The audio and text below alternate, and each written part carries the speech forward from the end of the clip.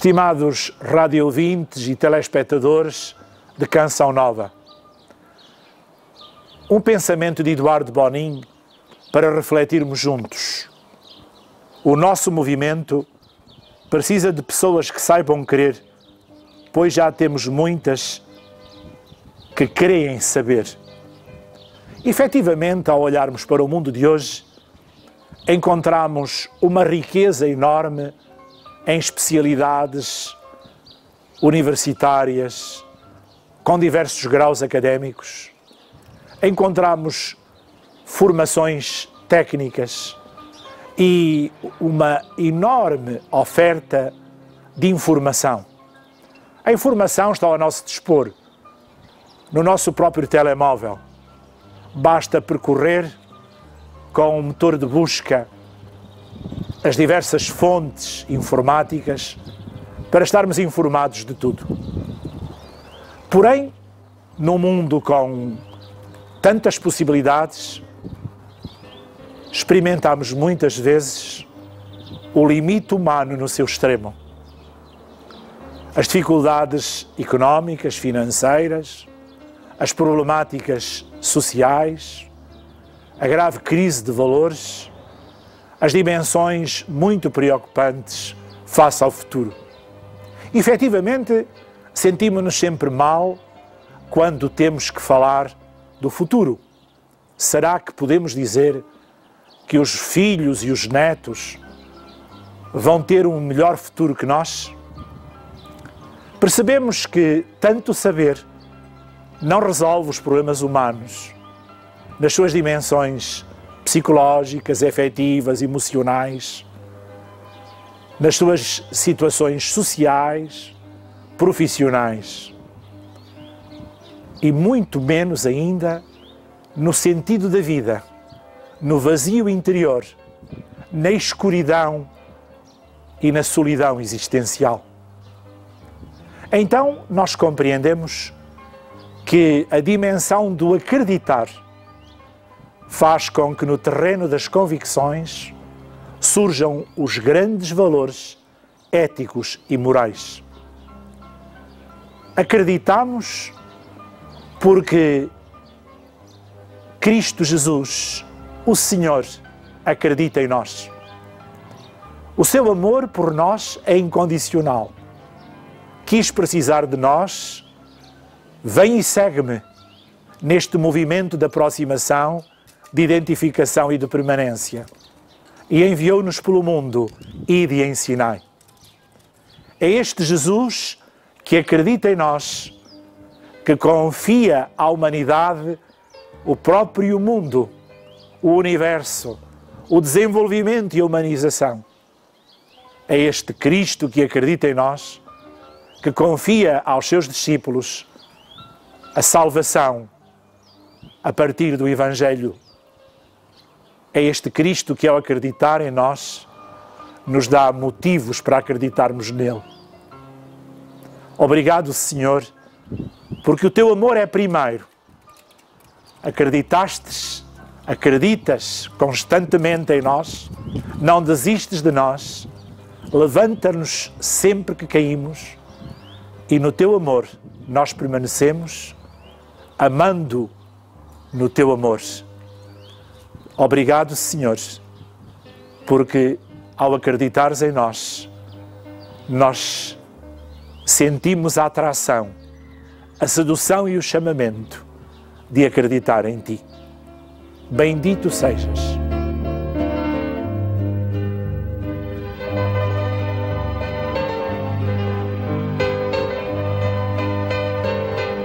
Mais uma vez aqui nos reunimos no mesmo lugar o santuário do Senhor Jesus Mártires.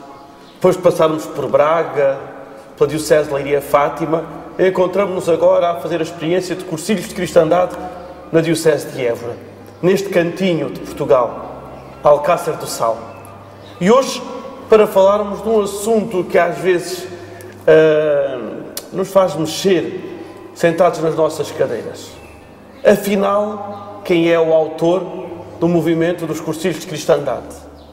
Então, o Ideias Fundamentais deixa de falar no autor para falar nos pioneiros do movimento de cursilhos de cristandade. Senhor Dom Francisco, grande assunto hoje aqui trazemos, não é? Sim, sim.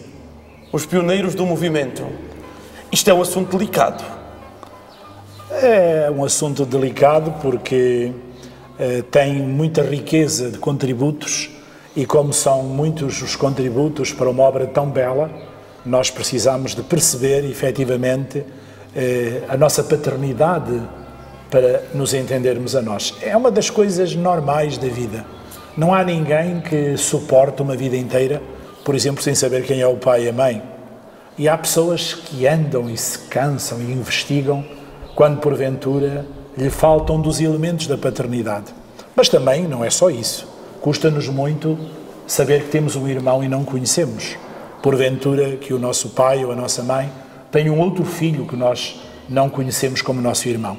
Nós gostamos bem de perceber as nossas raízes, a nossa gênese, e é algo de normal. Também os cursos estão dado querem perceber a sua gênese para perceber a sua raiz. Eu hoje fazia-lhe uma proposta. Em vez de ser um programa de pergunta-resposta, gostava, acho que era interessante ser um, uma, um programa de comentários. Muito bem.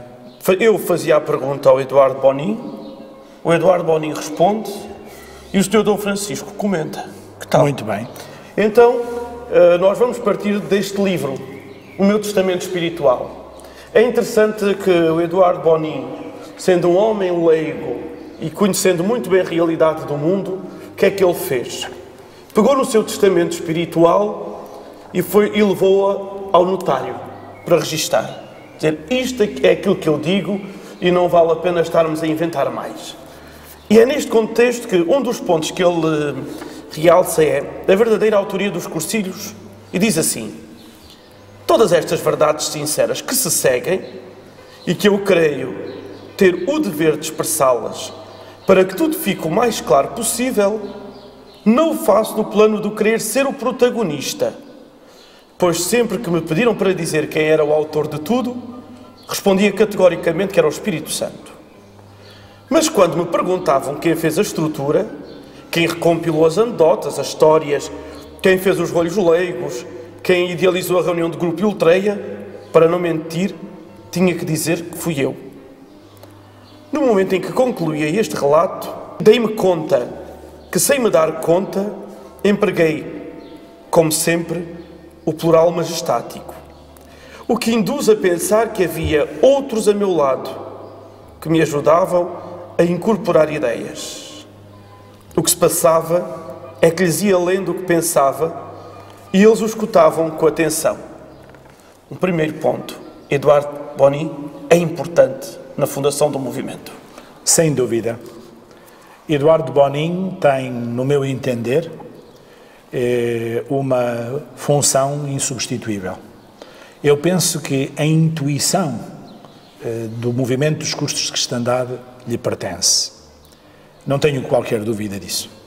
Eduardo Bonin é aquela pessoa que o Espírito Santo escolheu para conceder este dom à Igreja, deste movimento que tem feito tanta gente renascer na fé, depois de percursos de abandono, de arrefecimento, ou porventura pessoas que nunca tiveram nenhum percurso, apenas foram batizados em criança. O encontro com Deus. A problemática do encontro com Deus é fundamental.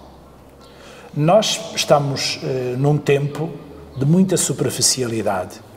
Afinal, nós passamos sobre os livros de um modo diagonal, lemos os títulos da imprensa, não temos muito tempo para nos debruçar no estudo. Nós eh, vamos passando pela informação e vamos registando os itens. Aliás, cada vez mais nós somos uma sociedade de itens. Ora, este aspecto da vida faz com que muitas vezes não tenhamos uma experiência pessoal de Deus. Um aspecto muito concreto. A vivência da catequese nas nossas paróquias está, como todos sabemos, organizada em 10 anos. Muitas vezes eu verifico, como bispo, que os adolescentes ao décimo ano de catequese sabem, estão informados, mas não têm uma experiência de Deus. ao olhar para um Cristo crucificado, veem uma obra de arte, veem algo de patrimonial, mas são capazes de não sentir tudo isto por mim e não conseguirem perceber esta frase: Não temas, vou contigo. Dei a vida por ti, dou a vida por ti. Se morri por ti, o que não farei por ti? Muitas vezes eu percebo que esta palavra amo-te não está na experiência da vida daqueles que foram muito informados, mas que não estão cristamente formados. Não estou a fazer nenhuma generalização, nem estou a fazer nenhuma leitura a priorística. Estou a partir da minha experiência de pastor de parco de 28 anos e de bispo, ainda muito recentemente, há cerca de três, mas percebo que a experiência de Deus está na causa de muitos homens e mulheres, de muitos jovens, dizerem: Não sinto nada, não me diz nada porque não descobriram o amor. Ou seja, só quando somos amados profundamente nós entregamos o nosso amor. Quando descobrimos a beleza do amor, nós fazemos aquele percurso. Seduziste-me, Senhor, e eu deixei-me seduzir numa luta desigual, te entreguei o meu ser. E Eduardo Bonin recebeu de Deus, naquelas experiências logo de 40 44 a 49, este dom do Espírito Santo, fazer o percurso de regresso do filho pródigo à casa do pai. É impressionante. Posso lhe contar, posso te contar um episódio eh, que se passou num cursilho com alguém que quando chegou vinha com mais de 50 perguntas escritas para fazer ao diretor espiritual do cursilho e à equipa responsável. Não fez uma pergunta, porque o cursilho lhe respondeu a todas as perguntas. Quando essa pessoa se encontrou com a luz, fez-se luz nela e ela simplesmente entregou a sua vida. Era uma pessoa bem formada, uma pessoa que exerce funções de muita responsabilidade e que verdadeiramente me disse: Estou esclarecido, Senhor Padre porque eu descobri o amor de Deus. E esta viagem, fazendo resposta nos diversos rolhos às perguntas que um homem ou mulher longe de Deus faz para o seu regresso à casa do Pai, na minha maneira de ver, foi o que o Senhor concedeu a Eduardo Bonin e que está presente no tecido dos rolhos de um cursinho de cristandade. Ele tem uma frase muito forte. Estamos desviados de Deus apenas três dias. E nós pensamos que há aqui uma simplificação. Os três dias do cursilho, a noite e os três dias. Não! Eu falei com o Eduardo Bonin muitas vezes e ele explicou-me que aquilo que nos separa de Deus é o mistério pascal, é o trido pascal. O cursilho de cristandade vive os três dias da semana maior do ano cristão, a Semana Santa, o Tríduo Pascal, paixão, morte e sepultura, ressurreição e Pentecostes. O cursilho é isto: é morrer com Cristo, ser sepultado na solidão e no sofrimento, na esperança, e depois ressuscitar, receber o dom do Espírito Santo e partir como esperança do mundo. Eduardo Bonin recebeu, no meu entender, este serviço para o prestar à Igreja no cursilho. Efetivamente, nós compreendemos que, sendo algo que tem a ver com o amor, muitas pessoas amaram tanto o movimento cursilhista que deram pedaços de si. Por isso, os cursilhos de cristandade estão marcados com muitas doações. Por exemplo, de Sebastião Gaiá, o sacerdote que foi o seu primeiro colaborador. Diz aqui o Eduardo Bonin que Dom Sebastião Gaiá foi o único que teve fé em nós. Mas durante a gestação dos cursilhos, as suas múltiplas ocupações não lhe permitiram uma dedicação mais efetiva que mostrou sempre desejar. No entanto, mesmo assim escreveu uns artigos na proa para preparar o ambiente para a peregrinação a Santiago, ao que lhes deu o nome de Etapas de um Peregrinar. Também foi ele que escreveu o Guia do Peregrino. Quando as suas múltiplas ocupações o permitiram, assistiu como diretor espiritual, juntamente com Dom Pedro Amorós Bestar, ao cursilho número 13, celebrado em Mostezion de Porreras, de 31 de agosto a 4 de setembro de 1949. É em 49 que ele entra. Eh, era importante nós percebermos que Eduardo Boninho era uma pessoa de muita leitura. A começar por dimensões filosóficas. Eduardo Boninho preocupava-se com o existencialismo cristão. E ele achava que não podemos viver apenas o momento presente. Temos que viver o momento presente, mas com um ideal, o mastro alto do barco da vida. Ele fez, portanto, um diálogo profundo com o existencialismo, sem ideal, sem valores, sem nada de objetivo e definitivo, ou seja, numa atitude já pós-modernista, onde não conseguimos saber nada de certo, porque tudo é relativo, e ao mesmo tempo numa ética pós-cristã, porque se de facto não temos nada de definitivo, não sabemos se Deus é de verdade, então também não temos uma ética cristã. Eduardo Bonin faz, portanto, uma reflexão também daquilo que há de ser a Igreja. Ele tem uma biblioteca muito rica, deixou uma biblioteca muito rica, sobretudo em eclesiologia. Ele lia os teólogos. Ele era um homem permanentemente a ler. Gostava de dizer que Eduardo Bonin esteve na minha casa paroquial quatro ou cinco dias.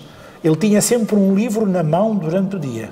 Os intervalos das refeições, os intervalos que não estava ninguém para ele receber em audiência, ele estava lendo e sublinhando. Era um homem permanentemente a ler. Os intervalos que ele fazia era a leitura para atender pessoas.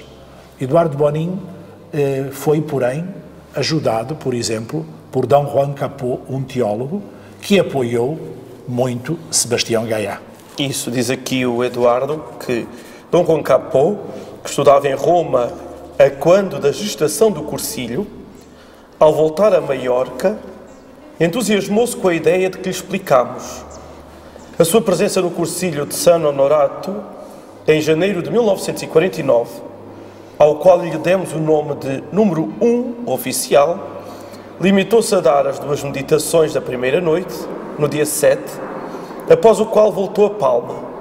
Foi ele que deu nervo teológico aos rolhos místicos e às meditações, e contou neles anedotas, as histórias, como a do maquinista que para o comboio ao dar-se conta que via a estrada cortada e lançou o convite a cada um a recordar o filme da sua vida.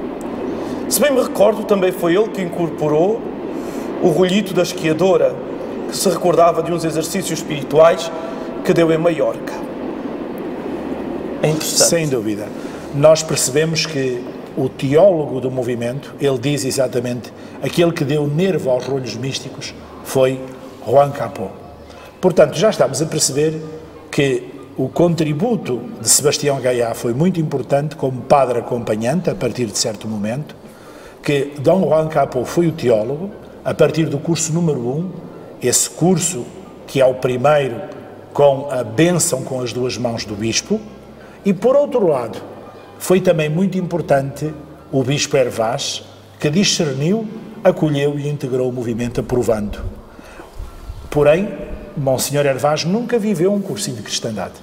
Ele depois, eh, com várias ajudas, fez o Manual dos Cursinhos de Cristandade, que é o livro antecedente às ideias fundamentais, que foi o grande manual que acompanhou a expansão do movimento pela Europa, pela América Latina e pela América do Norte. Foi o tempo do Manual dos Cursinhos de Cristandade, depois substituído pelas ideias fundamentais. O Primeira Edu, edição. O Eduardo Bonin diz: Quando chegou Dom Hervás a Maiorca, fomos saudá-lo. Uma visita normal do Conselho Diocesano dos Jovens da Ação Católica. Ao novo bispo, do qual naquele tempo era eu o presidente. O bispo recebeu-nos também, juntamente com toda a ação católica, em plenário. Falou-nos dos seus planos pastorais. Eu interrompi-o dizendo-lhe que em Maiorca tínhamos um procedimento para, aproxima, para aproximar a juventude, que era o que com o tempo se veio a chamar o movimento dos cursilhos de cristandade. Era tanta a minha impaciência que comecei a tomar a palavra com tanta veemência que o bispo me disse: Não te queres calar? E depois disse: Hoje é a audiência para toda a ação católica. Marcaremos um dia para nos reunirmos e depois falar. Quando alguns dias depois falámos com ele, entusiasmou-se tanto que nos disse que estava disposto a celebrar para nós uma missa semanal, ali mesmo na casa episcopal, e antes nos faria uma meditação. Combinámos com ele que a melhor hora para depois podermos ir trabalhar era às sete da manhã. Assim acordámos e assim fizemos. O convite era para todos os jovens de Palma e éramos nós, os jovens da Ação Católica, quem convidava em nome do Bispo. Depois da missa tínhamos uma pequena tertúlia e quando havia um cursilho apresentávamos-lhe os novos cursilhistas. Quando o Dr. Hervás passou da Diocese de Maiorca para a Cidade Real, entreguei-lhe toda a documentação que eu tinha sobre os cursilhos. Ele, com um grupo de sacerdotes, estudou atentamente. Sem dúvida nenhuma, a ele se deve o facto dos cursilhos serem aceitos pela Igreja. Ele escreveu uma pastoral sobre eles, intitulada Os Cursilhos da Cristandade, instrumento da renovação cristiana, que será sempre a carta magna dos cursilhos de cristandade. Foi ele que conseguiu que os cursilhos de cristandade entrassem pela porta grande da igreja. Gostava de dizer que Sebastião Gaiá, um dia, virando-se para Eduardo Bonin com muita emoção, lhe disse: Eduardo, tu és o maior leigo do mundo. Sublinho esta frase para percebermos como eles eram amigos. Como não havia entre Eduardo e Sebastião Gaiá qualquer competição de paternidade.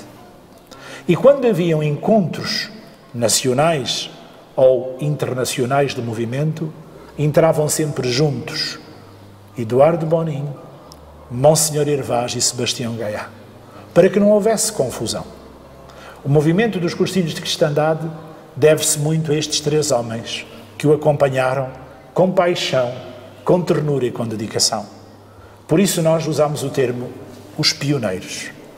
Eu penso que cada um tem o seu lugar.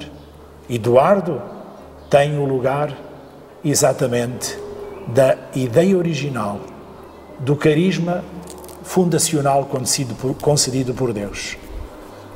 Sebastião Gaiá foi aquele que acreditou, que o apoiou, que o acompanhou e que, até ao fim da vida, com uma humildade de santo, deu de facto o seu sacerdócio pelos cursilhos. É o padre dos cursilhos que está dado. Para nós sacerdotes, Sebastião Gaiá há de ser sempre uma referência. Ele soube estar como alma do movimento. Sem alma não há vida, mas alma não se vê. Ele era vida do movimento, porém não se fazia ver. Era profundamente discreto e humilde. Tive a felicidade também de o conhecer de perto, de fazer mesmo uma formação com ele em Torres Vedras. Não posso esquecê-lo na sua humildade e na sua profunda sabedoria sacerdotal. Não podemos depois esquecer que Monsenhor Hervás é o bispo dos cursilhos cristandade. Hoje, como bispo, eu olho para Monsenhor Hervás como homem que soube discernir, que soube ler o sinal dos tempos e que foi capaz de abrir as portas da Igreja a uma novidade que, porém, era arriscada. Não esqueçamos que os cursilhos cristandade fazem parte de um movimento que preparou o Concílio Ecuménico Vaticano II, como movimento bíblico que, ainda no tempo do Papa Pio X, falecido em 1914, era um movimento com imensas dificuldades devido ao modernismo, que começou a ter lugar na Igreja com Pio XI, falecido em 39. Foi um movimento essencial para preparar o Concílio Vaticano II, o movimento bíblico, que está na base da Constituição Dei Verbo. A importância do movimento catequético, da evangelização das novas gerações, que começou a ter entrada na Igreja com o grande dom do catecismo do Papa Pio X, que esteve na Igreja como sumo pontífice de 1903 a 1914. Depois, o movimento ecuménico, que nasce nas igrejas eh, irmãs chamadas reformadas, nas igrejas luterana e calvinista, sobretudo, e que depois, com Leão XIII, através de uma novena para a unidade dos cristãos, é também abraçado pela Igreja Católica. O movimento ecuménico que se torna presente no Concílio Vaticano II. O grande movimento litúrgico que inicia no seio, sobretudo, da Ordem Beneditina, com uma riqueza extraordinária em Odocasel, eh, Dom Alambert Bedouin, eh, o mosteiro eh, famoso de Marillac, de Marillac, Marillac eh, que faz de facto toda esta caminhada da descoberta do valor da Assembleia Cristã e da liturgia em vernáculo na nossa própria língua. A, a Assembleia Cristã era algo aonde não se pressentia Cristo, estava no sacerdócio, como o Concílio, o Concílio de Trento muitíssimo sublinhou por causa de toda a questão protestante. Mas a Assembleia, a palavra, o altar e depois o ministro que preside em nome de Cristo, cabeça e bom pastor, são uma dádiva do movimento litúrgico. Não podemos esquecer também aqui todo o contributo do movimento laical que começou com a ação católica e que se expandiu de uma maneira decisiva com o movimento dos cursinhos de cristandade. Os cursinhos de cristandade fazem com que o leigo não seja apenas um colaborador da hierarquia, mas um corresponsável que descobre a sua missão a partir da valorização do batismo. Ai de mim se não evangelizar. Como cristão, ele é mandatado por Cristo a levar a boa nova aos irmãos. Converter-se é imediatamente descobrir a vocação missionária. Não há discípulo e missionário, mas há discípulo missionário, como lembra o Papa Francisco na sua exortação apostólica à alegria do Evangelho. E Monsenhor Hervás aceitou os cursilhos neste tempo, vistos com suspeição. Foram depois proibidos por Monsenhor Inciso. Ele teve que mudar de diocese. Monsenhor Hervás ficará sempre na sua paternidade espiritual como aquele que abriu a porta ao, ao movimento cursilista, depois confirmado por Paulo VI, na grande ultreia de 1966, tendo cidadania, cidadania universal na Igreja. E, finalmente, o teólogo do movimento, Monsenhor Capô, é o menos referido, mas a beleza dos rolhos místicos pronunciados, proclamados pelos sacerdotes, vem de Monsenhor Capô. A grande dádiva de Monsenhor Capô, como teólogo, é para nós motivo de agradecimento.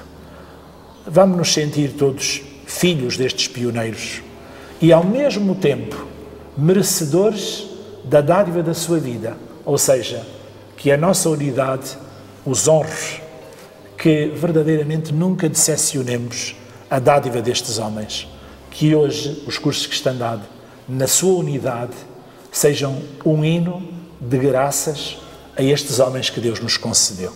Sr. Dom Francisco, ao ouvir tudo isto, ao lermos o Eduardo Boni, ao ouvirmos os, os seus comentários, talvez deixarmos para a nossa casa, pois o tempo é o que é, pressa passa, uma frase pode ajudar. Um seduzido por Cristo seduz os outros.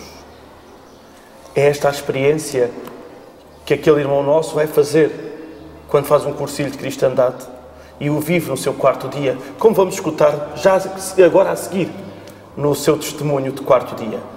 Mas antes de nos despedirmos nós, ainda que não seja o despedir do, do programa, dê-nos a sua bênção para que também nós seduzidos por Cristo, seduzamos quem está à nossa volta. O Senhor esteja convosco. Ele está no meio de nós, Bendito seja o nome do Senhor. agora e para sempre, O nosso auxílio vem do Senhor. que fez o céu e a terra. Abençoe-vos o Deus Todo-Poderoso, Pai, Filho e Espírito Santo. Amém. Decolores. Um abraço para todos.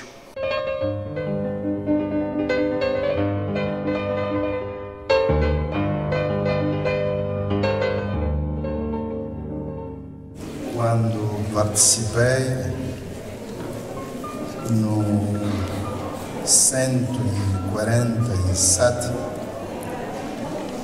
foi a convite de cursistas daquele tempo.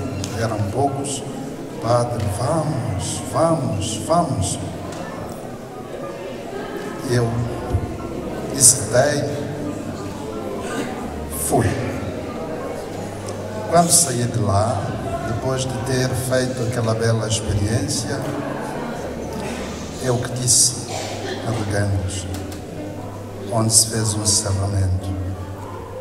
É verdade que trouxe algo especial, mas algo especial que já fiz experiência na longa formação do seminário louvor ao sacerdócio mas estive lá, quis abrir o meu coração, mesmo convidando-me para fazer parte da equipa, sendo sacerdote, eu não aceitei. Eu disse: quero estar com os outros com quem entrei. Isto para poder compreender que não se trata só de uma euforia temporária, que saem de lá, mas vivem algo. E comprometi-me em acolhê-los, acompanhá-los, para poderem viver como deve ser aquilo que chamavam, chamam, e que eu não sabia o que era, o quarto dia. Como disse aqui o padre Joanes, ver esses rostos todos daqueles que passaram por lá. Ainda hoje, alguém, um dos meus vizinhos, que fez há muito tempo, disse, padre, não sabia, eu também sou de colores, mas ver aquele rosto, eu acho que é o que um sacerdote deseja ver nos seus os irmãos, cuja responsabilidade recebeu de conduzir a Cristo. Por isso, é o que tento fazer e eu agradeço por este momento, depois de termos, assim, quando estava naquela altura, padre, agora Dom Senra, mas porque nós também não podemos ter esse cedo. Acho que chegou a altura. O menino cresceu. Agora já pode acolher os irmãos e como padre, com uma alegria, de vos acolher como um antes de tudo, um irmão